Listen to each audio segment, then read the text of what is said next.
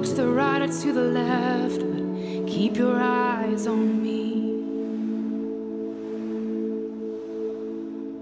You will not be shaken, you will not be moved. Oh, I am the hand to hold,